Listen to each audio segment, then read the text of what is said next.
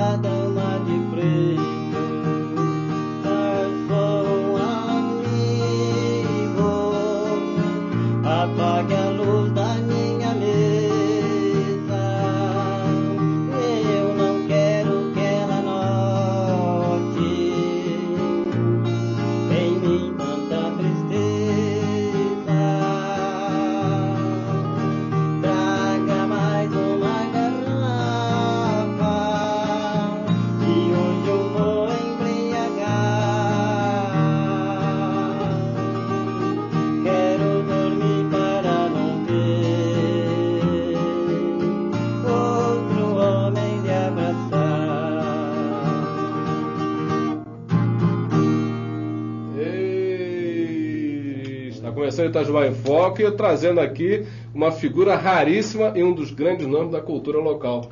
Meu amigo Tuninho Gonçalves, Antônio Gonçalves. Tuninho, que prazer ter você aqui no nosso programa. É, é um prazer ser convidado por você e ter essa oportunidade aqui em Itajubá em Foco, canal 20.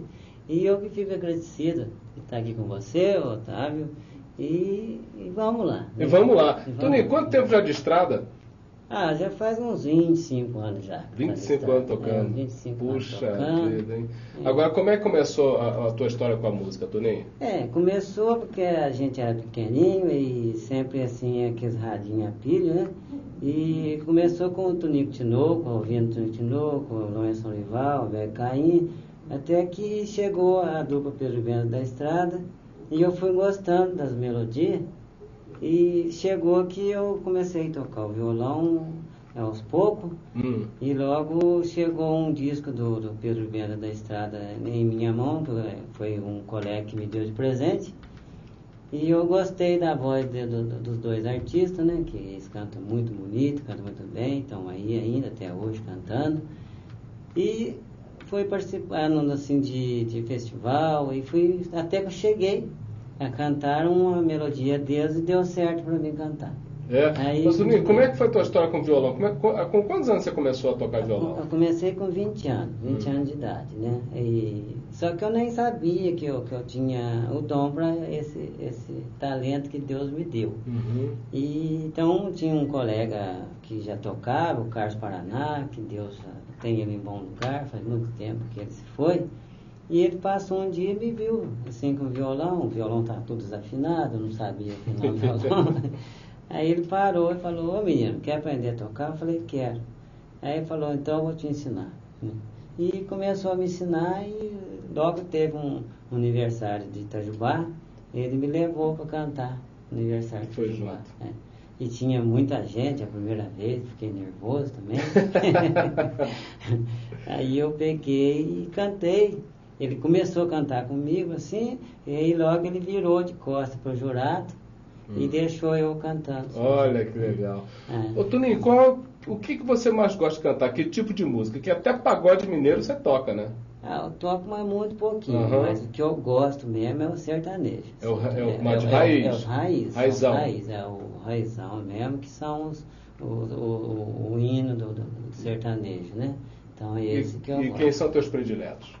Predileto é o Pedro Bento da Estrada, Lourenço. Norival, Toninho Tinoco, Abel Caim, tem um Carreiro Pardinho que já também tem em bom lugar, e tem mais o Liu e Léo, né? Tem mais Liu e Léo, e tem mais, vários outros, Leonardo Zé Rico, mas de preferência é o Pedro Bento da Estrada. Raizão mesmo, é, né? raizão mesmo. E como é que você escolhe repertório? Você vai pelo ouvido das pessoas, o que, que as pessoas gostam mais de ouvir, é, ou você que escolhe? É, eu vou pelo ouvido das pessoas e sempre eu que escolho. É, eu acho que é aquela música que vai é, cativar as pessoas. Então eu já canto aquela. Compor você não compõe, né? Não compõe, não consigo. Já estava em tempo, né? Já estava em tempo. O Toninho tem uma história muito legal que eu, eu testemunhei, não vou nem contar o que, que aconteceu, mas é, é, com quem foi, o que aconteceu eu conto. É. Ele, desafio, ele chamou um grande violonista, um grande músico brasileiro que esteve aqui em Itajubá, desafiou com uma viola e o cara não topou depois de ver o Toninho tocar. É. O Toninho estava tocando no, no bar Tá, né? com várias testemunhas famosas da nossa cultura que conheciam também essa outra figura, e essa figura arregou, tomou uma vaia, né? É, e foi até brincando, né? Lembra, falou, tá, arregou da viola, né? Acabou. É, não, é? não, mas é. Essas coisas acontecem. Né? Toninho, o que, que nós vamos ouvir agora? Agora a gente vai ouvir a, mais uma melodia também gravada pelo Benzo da Estrada, é, Pena de Minha Alma. Vamos lá.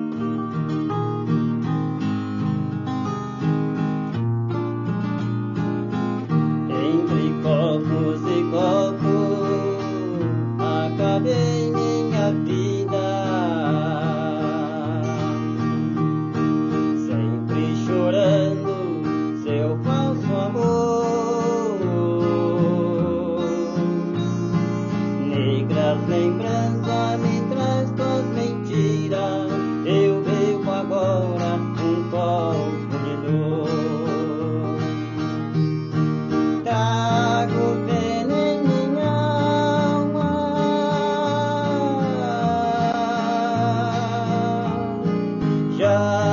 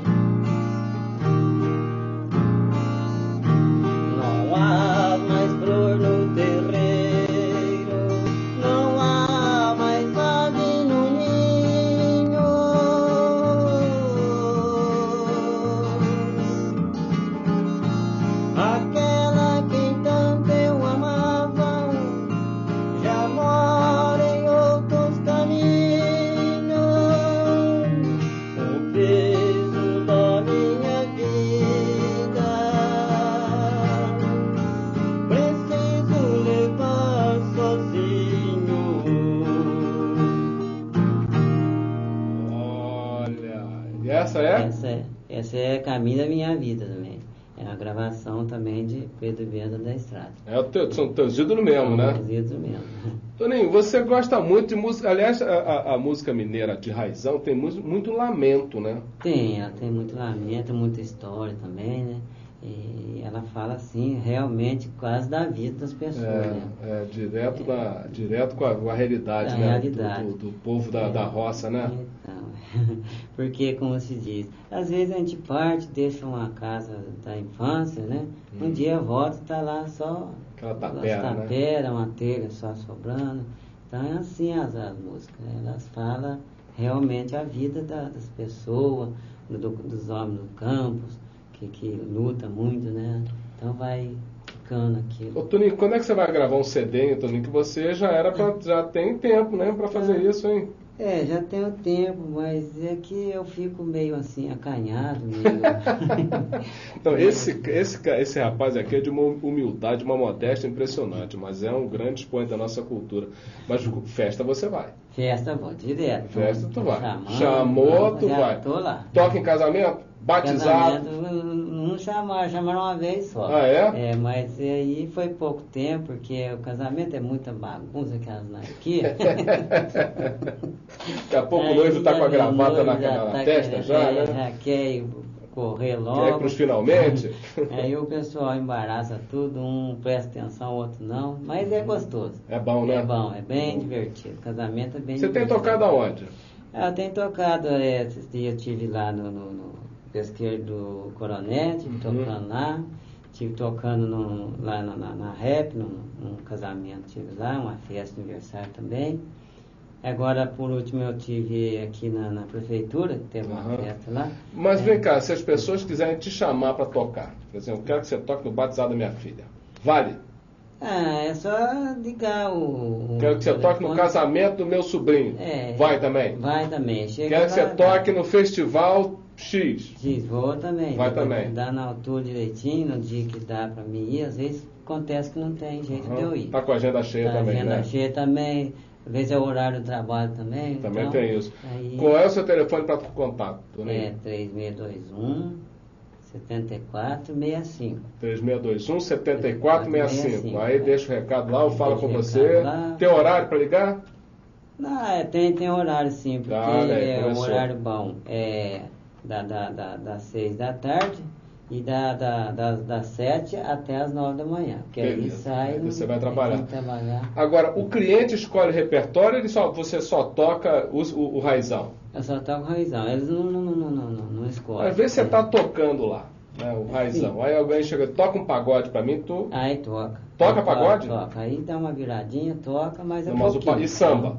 O samba já não vai. Não, tô é. falando pagode samba, não é o pagode mineiro, ah, não. sim, o pagode mineiro. É, o pagode, mas o pagode mineiro. Que ah, toco, o né? pagode que ele toca é pagode mineiro. Pagode de, de, de, da viola. Igual, é? igual tinha um carreiro, é, pagode em Brasília, é, cavalo enxuto, aquelas coisas.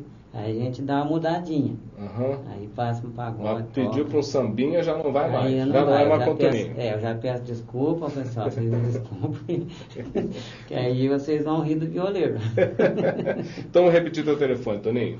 3621 7465. E o horário? Das Horário 7 às 9 da das manhã? às 9 da manhã e das 6 da tarde à vontade. Seis da tarde à vontade. Às 18 pode, tá tranquilo. Até meia-noite Até valendo. meia-noite tá valendo. Então tá bom, Toninho. Nós vamos encerrar ouvindo o que agora? Vamos ouvir a Lua Testemunha, né? Que é uma gravação de Pedro Bento também, é muito Uhum. bonito também. Então tá aí. O Itajubá em Foco vai encerrando agora, depois dessa entrevista muito legal com esse, esse cara que é uma, sem dúvida, é uma referência na cultura local, é um preservador da nossa cultura, a cultura de, da raiz mineira, gente, da cultura brasileira. Tuninho Gonçalves. Itajubá em Foco encerra. Espero que você tenha gostado do nosso programa. Obrigado pela audiência. Tá. E fique ligado no Tuninho Gonçalves. Tuninho Gonçalves. Vamos lá. No canal 20. Isso aí.